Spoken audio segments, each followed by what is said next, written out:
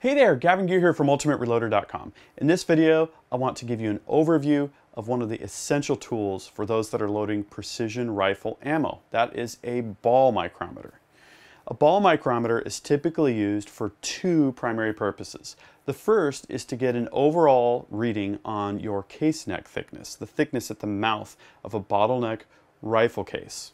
This is an important consideration if you're using things like bushing type sizing dies because you want to have the perfect press fit for the bullet. You want about two thousandths of an inch interference fit between the case mouth and the bullet, which is going to enable you to optimize pressures when the cartridge is being fired and have more consistent pressures as well. Super critical aspect of precision rifle reloading. I've shown tools like the Redding case neck uniformity tool, and that's the other purpose that uh, you'll have for the ball micrometer, is to check the consistency of case neck thickness all the way around the case mouth. This is important because if you have consistent case neck thickness, you're going to have your bullet perfectly centered in the bore as it engages the rifling, and it's going to spin perfectly straight, which translates to more precision.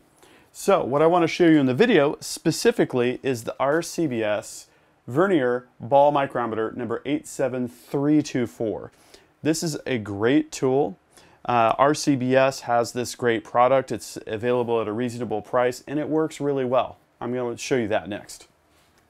So let's take a quick look inside the box and see what you get with this setup. So it's in a it's in a nice plastic case. I like that because I can take it with me if I need to. Got the tool that's used to set the zero so that you can calibrate your zero. That's uh, definitely super important. And there we go. Looks like a nice tool. I've got the, the ratchet thimble, which is great. You can see that it's zeroed out. Nice.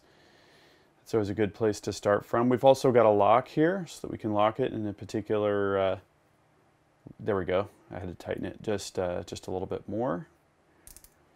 It's also got this plastic insulating cover over the body, which is nice because that's going to transfer less heat from our hands to the unit itself, which means it's going to influence the readings that much less.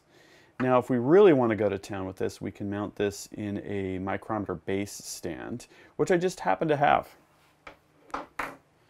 Check this out. I got this old industrial, super solid, solid iron micrometer base off of eBay for, I don't know, it was about $20, I want to say.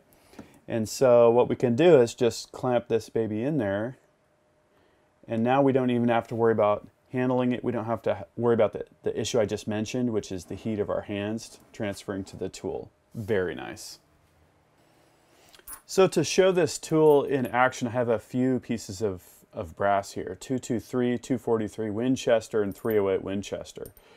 So we've got a 22 cal case neck, we've got a 6 millimeter case neck, and we've got a 30 cal case neck, just to give you an idea of the variety. Now I was definitely intent on getting a ball micrometer that would work with 223 since that's one of the cartridges that I load frequently. So let's take a look at this. We want to use the ratchet thimble where necessary. So we've got 12 thousandths, 11 and a half, 11 and a half essentially. Okay, so that's fairly consistent and we got a good reading off of that. Now for the 243, this is going to be a little thicker. Yeah, so 13 and a half, 13 and a half. This is Hornady brass. Okay, 14, oh, 14, 13 and a half, a little over 14. So we're getting a, a fairly consistent uh, thickness from this Hornady 243 brass.